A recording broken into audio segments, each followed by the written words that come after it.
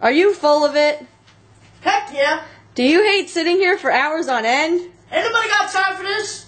Just try to let it go with the new Let It Go laxative. Do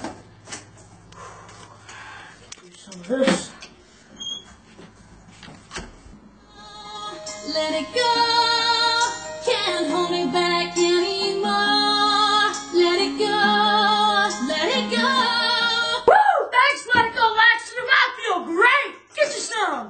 Go laxative should not be used daily. May cause explosive diarrhea, frequent urges, heart conditions, and intestinal deformities. Not suitable for children. For only two payments in 1999, you can have a one-month supply of It laxative. To order, call 1-800-POOP.